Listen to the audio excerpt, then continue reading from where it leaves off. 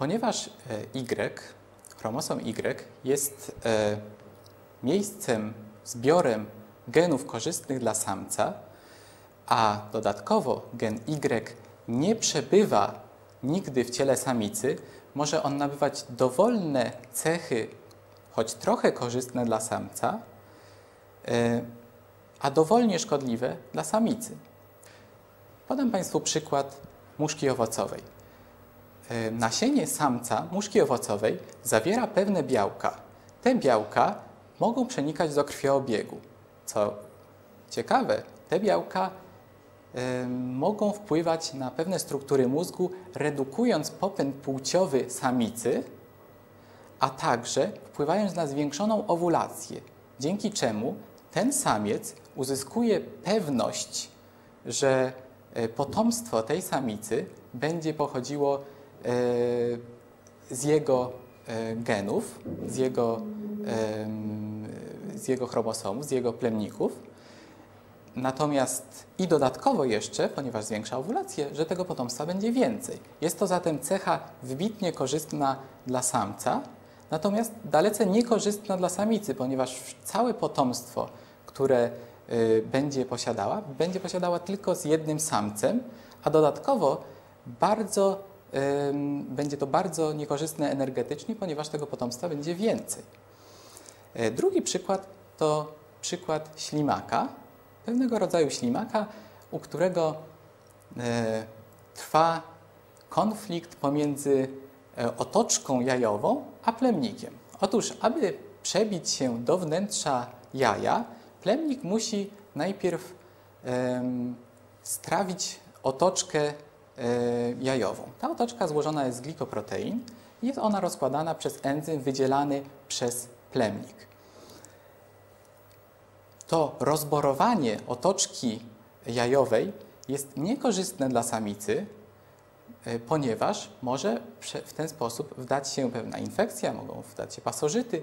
Zatem e, Samicy zależy na tym, aby ta otoczka była bardzo trwała, a enzymy samca nie rozkładały tej otoczki, przynajmniej nie rozkładały jej w dużym obszarze. Natomiast dla samca wybitnie korzystną cechą jest szybkie rozłożenie otoczki, sprawne, ponieważ dzięki temu łatwiej i szybciej wniknie e, plemnik do jaja. Zatem znów konflikt. Konflikt pomiędzy e, zdolnością szybkiego wnikania do jaja, a ochroną, e, a ochroną tego jaja. Trzeci przykład to łożysko ssaków. Łożysko jest obecnie rozpatrywane w kategoriach pasożytnictwa. Bardzo interesującą ciekawostką jest to, że łożysko wytwarzane jest przez geny samca.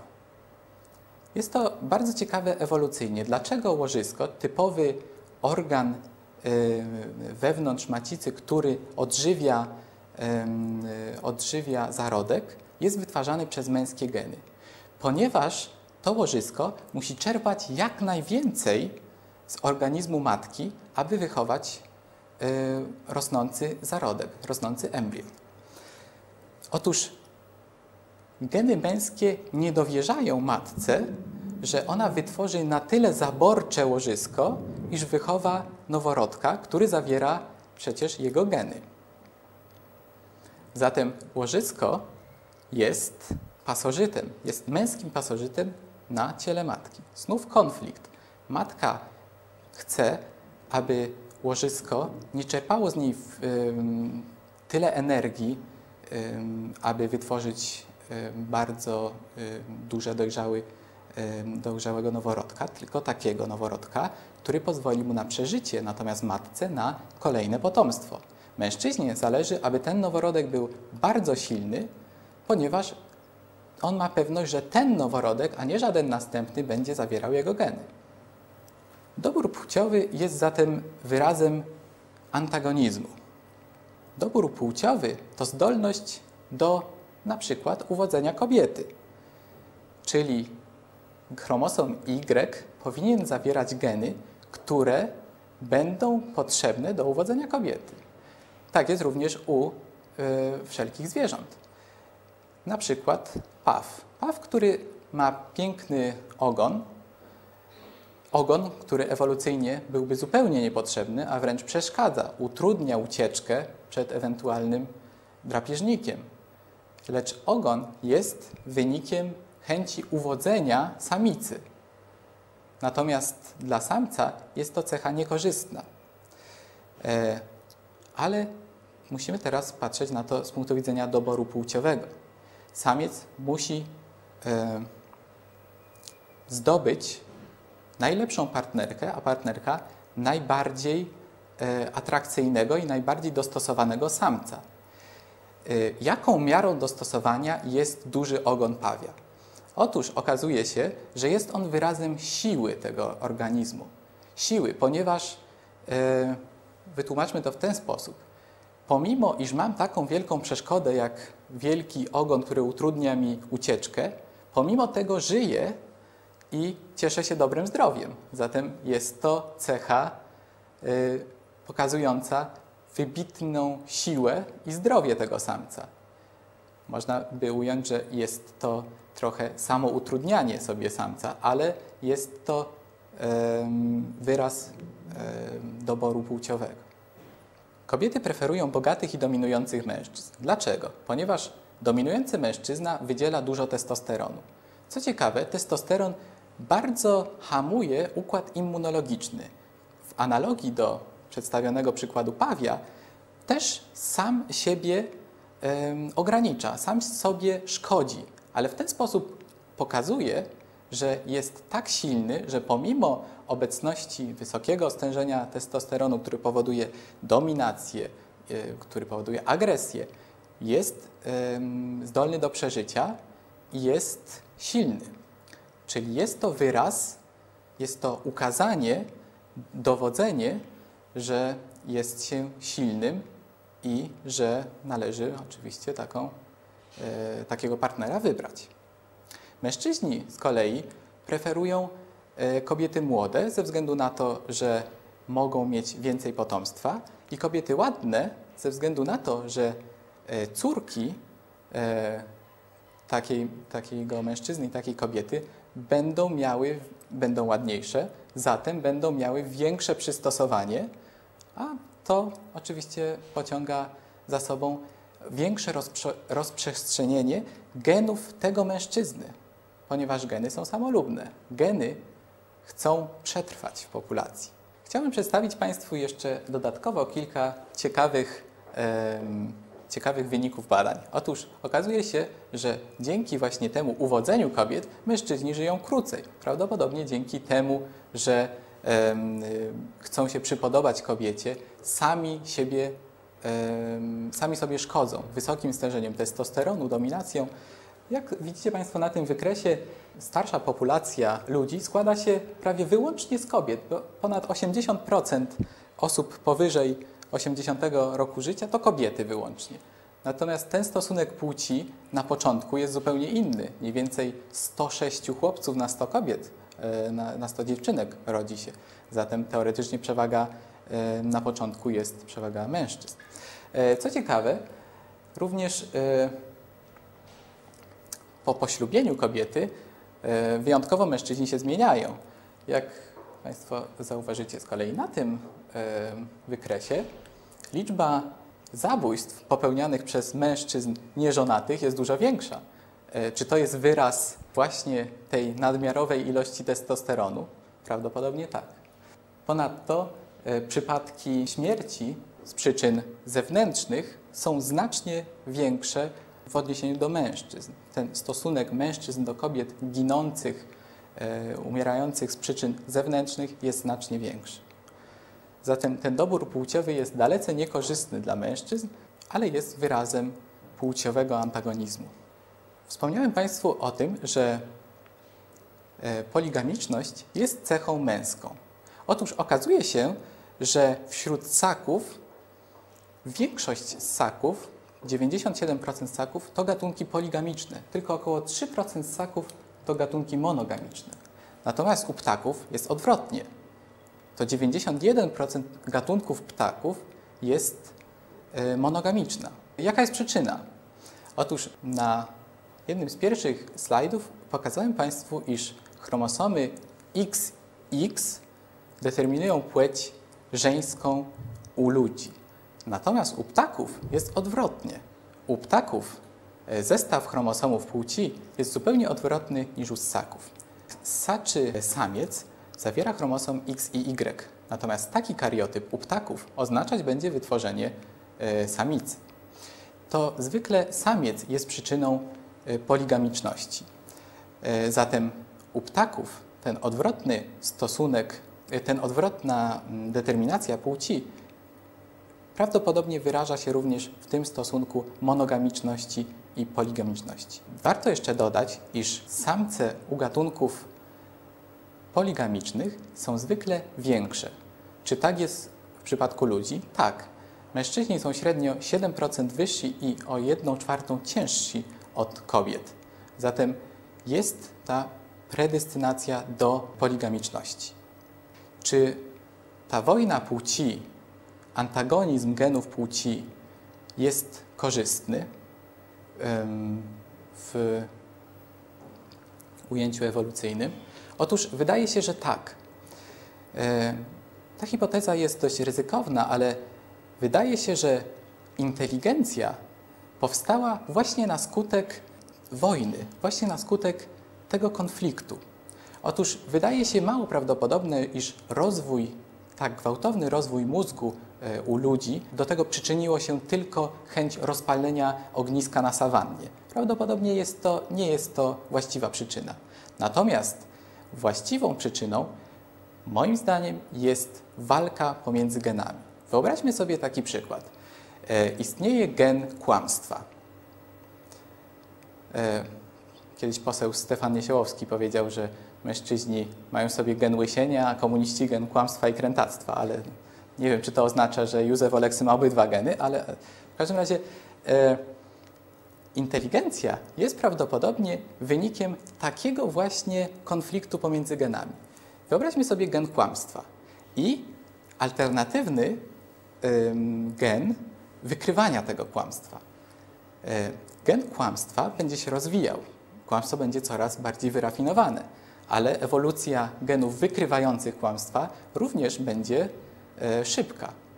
Zatem możemy sobie wyobrazić, że ten wyścig zbrojeń doprowadzi w trakcie do rozwoju na przykład inteligencji. Czy ta hipoteza nie jest interesująca? W tej chwili chciałbym Państwu opowiedzieć jeszcze o bardzo ważnej rzeczy związanej z płcią. Chciałbym Państwu mianowicie opowiedzieć o homoseksualizmie. Dlaczego istnieje takie zjawisko jak homoseksualizm u ludzi? Przedstawiłem Państwu tutaj chromosom X i na tym chromosomie bardzo ciekawy region nazwany Q28. W dowcipnych publikacjach z, z środowiska gejowskiego jest, jest on właśnie uważany za, za ten gen, który powoduje homoseksualizm. Stąd też to zabawne powiedzenie na koszulkach sprzedawanych w sklepach dla gejów i lesbijek połowie lat 90., bo wtedy właśnie wykryto taki obszar, który koreluje z występowaniem homoseksualności. E, w 1993 roku po przebadaniu e, kilku rodzin, gdzie występował homoseksualizm, stwierdzono, że ma on wysoki stopień dziedziczności. Przedstawiłem tu Państwu e, badania, bardzo ciekawe badania przeprowadzone na bliźniętach dwujajowych i jednojajowych. Otóż po przebadaniu 54 par takich bliźniąt dwujajowych okazało się, że jeśli brat jest homoseksualistą, znaleziono tylko 12 przypadków, że jego brat bliźniak, ale dwujajowy, jest również homoseksualistą. Zatem sprzężenie niewielkie. Ale w przypadku bliźniąt jednojajowych ten stosunek wynosi już 29 na 56 przebadanych bliźniaków. Zatem ponad połowę, ponad połowa wykazywała korelację e, związaną z genomem, ponieważ jednojajowe bliźnięta to są pod względem genetycznym klony. Zatem jeżeli w, e, obaj bracia, w dużym stosunku obaj bracia wykazują cechy homoseksualne, możemy zatem przypuszczać, że są to cechy związane z dziedzicznością. I rzeczywiście uważa się, że około 50% tendencji homoseksualnych jest genetycznie uwarunkowane. Okazuje się, że to dziedziczenie może następować po kądzieli. W 1993 roku odkryto tak zwany gen gejów, nazywany tak obszar, fragment chromosomu X, e, który wykazywał ogromną korelację, znaczy pewna jego e, struktura, pewna jego sekwencja wykazywała korelację z homoseksualizmem. Mniej więcej 75% przypadków, zatem bardzo, bardzo dużym e, stopniu korelacji. Homoseksualizmem męskim zatem nie było związku żadnego z orientacją lesbijską. Ewolucja i homoseksualizm wydaje się wykluczać zupełnie. Nie ma e, takiego faktu, który przemawiałby za przystosowaniem homoseksualizmu, większym przystosowaniem do ewolucji. Nie, nie istnieje taka korelacja, ponieważ homoseksualiści z prostej przyczyny nie będą przekazywać swoich genów potomstwu, zatem teoretycznie geny homoseksualizmu powinny bardzo szybko w ewolucji wyginąć. A dlaczego w takim razie 2% populacji kobiet i 6% e, całej populacji mężczyzn wykazuje homoseksualizm? Pomimo iż, iż powinien być on skazany na, na wymarcie. Otóż hipotezą, którą warto rozważyć, jest znów wojna e, pomiędzy chromosomami X i Y. Ponieważ chromosom X, jak już powiedzieliśmy sobie, spędza więcej czasu w kobietach niż mężczyznach. Stąd wniosek, że gen sprzyjający kobietom mógłby przetrwać nawet gdy jest szkodliwy dla mężczyzn. Gen homoseksualizmu męskiego jest szkodliwy dla mężczyzn. Warto rozpatrzeć, jeżeli y, mówimy jeszcze o homoseksualizmie, pewne, y, pewne obserwacje, pewne badania, y, które dotyczą kolejności urodzin. Otóż okazuje się, że mężczyzna mający jednego lub więcej braci częściej jest homoseksualistą niż mężczyzna nie posiadający w ogóle rodzeństwa lub posiadający siostry. I okazuje się, że każdy dodatkowy, można powiedzieć, starszy brat e, o jedną trzecią zwiększa prawdopodobieństwo wystąpienia homoseksualizmu. Oczywiście y, ta liczba wydaje się tutaj duża. Wzrost o 1 trzecią wydaje się dość duży, jednak pamiętajmy, że mówimy nadal o liczbach rzędu y, kilku procent. Zatem wzrost z 3 do 4% szans na urodzenie dziecka z tendencją homoseksualną genetycznie zakodowaną jest niewielki. O 1 trzecią wzrost to jest wzrost rzędu z 3 do 4%. E, nie ma takiej korelacji w przypadku e, wykształcenia się orientacji lesbijskiej. Przedstawię Państwu ciekawą hipotezę e, nakreślającą, tłumaczącą homoseksualizm i kolejność urodzeń. Otóż bardzo interesujące i ciekawe są trzy geny na chromosomie Y. Przy czym jeden wiemy dokładnie,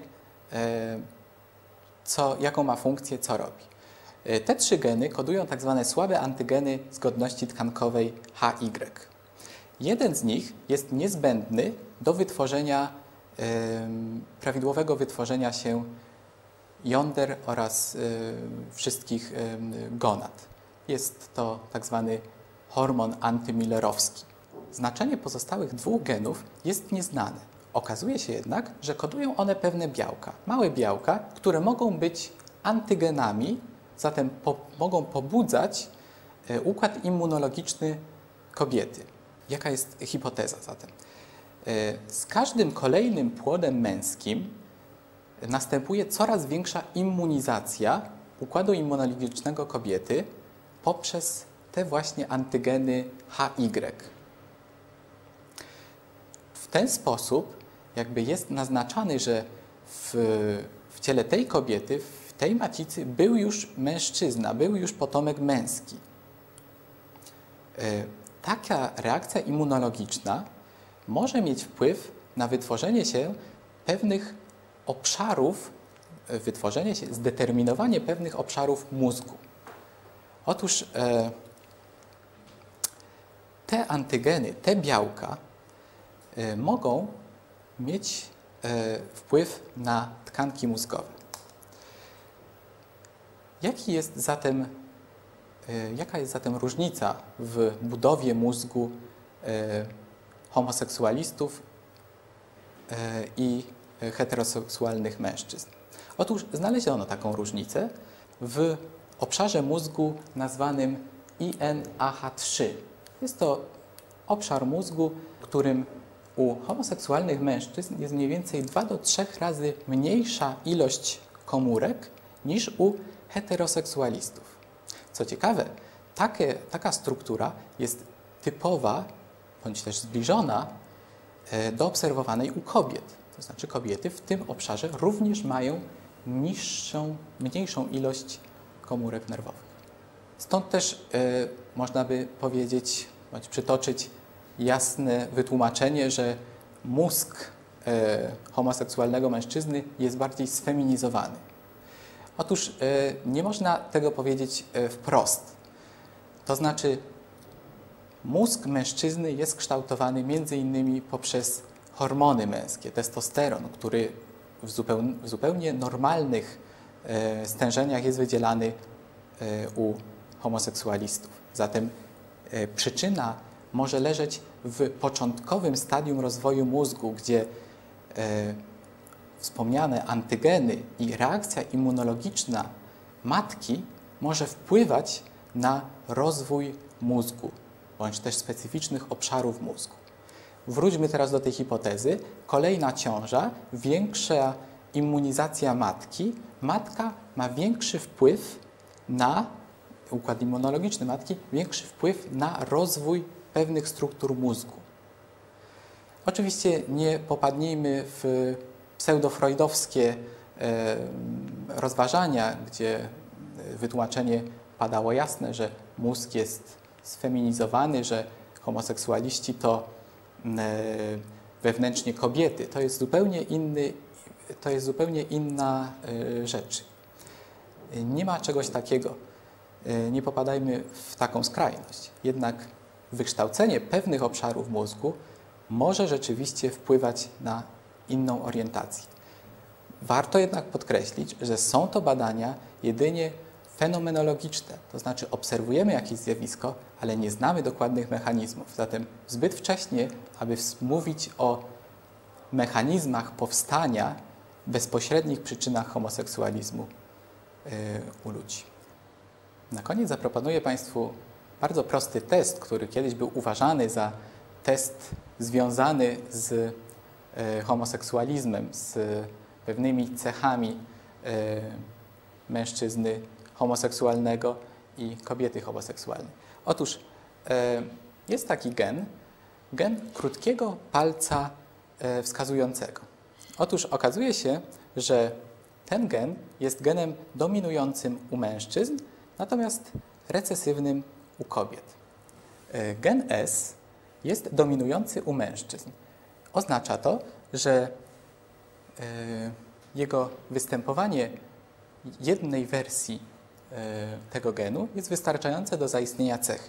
E, zatem genotyp S duże, S małe, czyli dominujący, powoduje e, bardzo ciekawą cechę. Otóż cechą tą jest krótszy palec wskazujący w stosunku do palca serdecznego, do palca czwartego. Palec, krótszy palec wskazujący jest zatem oznaką recesywności tego genu u mężczyzn. E, ale tylko u mężczyzn. U kobiet ten gen jest genem e, recesywnym, co oznacza, że e, dłuższy palec występuje zarówno w przypadku podwójnej homozygoty dominującej, jak i heterozygoty. Natomiast u mężczyzn krótszy palec występuje tylko u homozygoty recesywnej, czyli bardzo rzadko. E, stąd e, historycznie wywiedziony wniosek, że e, może to mieć jakąś, jakiś związek z homoseksualnością, ponieważ również występuje em, taka cecha również występuje niezwykle rzadko. Oczywiście jest to, jest to nieprawda, nie jest to e, prawdziwe stwierdzenie, natomiast sam, e, sama cecha jest niezwykle ciekawa, że istnieje gen, jeden gen w naszym e, genomie, który determinuje długość palca wskazującego i jego proporcje w stosunku do czwartego palca e, serdecznego. W ciągu mojego wykładu przeprowadziłem Państwa przez ten gąszcz problemów związanych z płcią, e, problemów genetycznych, problemów wojny między płciami, która przejawia się również w naszym życiu codziennym, w życiu każdego z nas. E, Nie tylko jest wyrazem problemów czy wojny genetycznej, wojny genowej, ale również e, behawiora- behawioralnej naszego zachowania, naszego codziennego życia.